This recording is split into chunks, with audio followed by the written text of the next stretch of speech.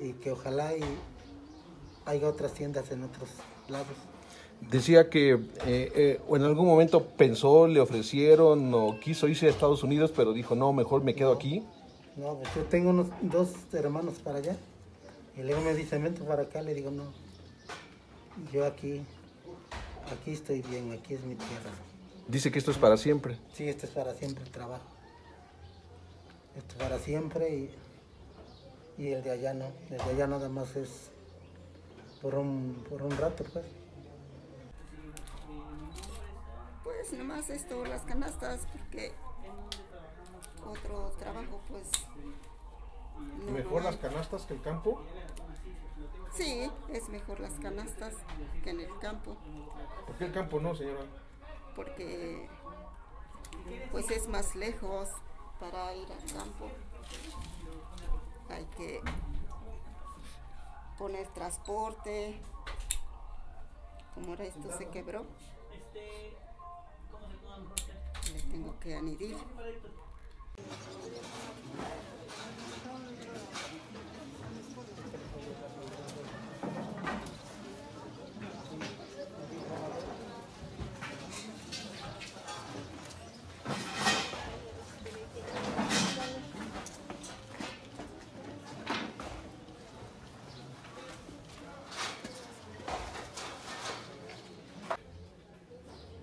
Oiga, ¿y no se arrepiente de haber optado por quedarse aquí y no, No, no. buscar el sueño americano? No, yo no me arrepiento. Yo, yo me ha gustado que se convirtiera como, no nada más una tienda, como una empresa. ¿Ese es su sueño? ¿Que sea una es- empresa? Ándale, es como es lo que yo quiero. Que sea como una empresa. Que no sea una tienda. Antes un taller, después una tienda. Ahora quiero que sea como una empresa. Tener más jóvenes trabajando. ¿Y qué le ha impedido hacerlo? Pues porque todavía no se han, han venido a, a ver para que se enseñen. Oiga, ¿y siente que las venden muy baratas?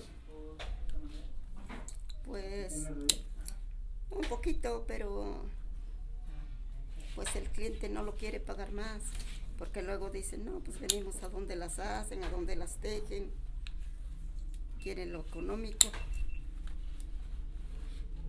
Pero a veces no se puede. o sea. ¿El gobierno no les ayuda para mantener esto? No. No, hasta ahorita no.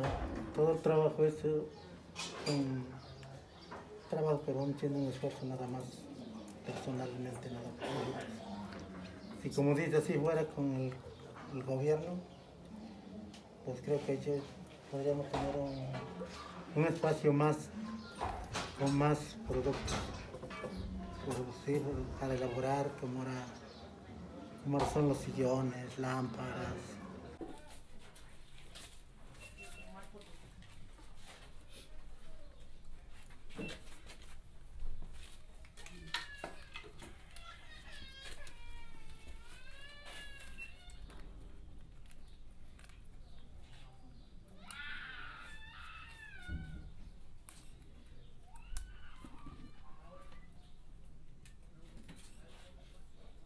hay unos que van quedando larguitos, se le va, se le va cortando para que quede parejo.